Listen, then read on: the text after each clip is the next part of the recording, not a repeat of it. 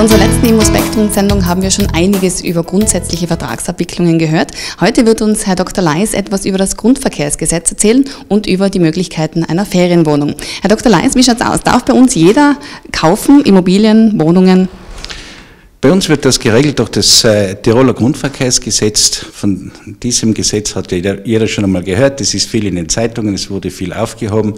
Wir haben im Grundverkehrsgesetz Regelungen, die im Prinzip sagen, welche Person, ob natürliche Person oder juristische Person, in Tirol eine Immobilie, ein Grundstück, eine Wohnung, eine Vorsorgewohnung oder eine Fernimmobilie kaufen darf.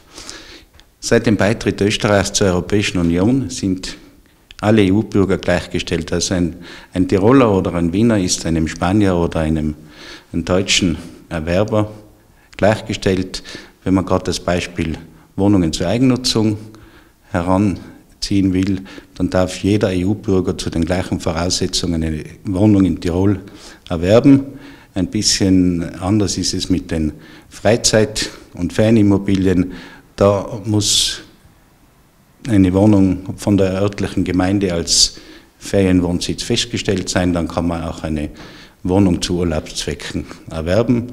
Stichwort Vorsorgewohnung, die kann auch jeder EU-Bürger dann kaufen, wenn er sie der dauerhaften Vermietung an Ortsansässige oder auch an EU-Bürger, die dauerhaft da wohnen, vermieten. Aber man braucht keinen Hauptwohnsitz, wenn man eine Ferienwohnung kaufen will. Na, das äh, sagt ja schon der Ausdruck Ferienwohnung, dass man die eben zu Urlaubszwecken nützen kann. Besonders beliebt im Raum Kitzbühel von sehr vielen Urlaubsgästen, die diese Gegend einmal kennengelernt haben und von sehr finanzstarken Leuten, teilweise auch aus dem Osten. Und da kommen wir natürlich schon auch zu dem Thema, darf zum Beispiel ein Scheich oder ein Russe bei uns was kaufen. Nachdem äh, diese Länder nicht der Europäischen Union angehören, dürfen Personen aus diesen Ländern nur unter ganz speziellen Voraussetzungen eine Immobilie erwerben. Da braucht es dann schon eine spezielle Genehmigung, die aufgrund eines öffentlichen Interesses erteilt werden würde.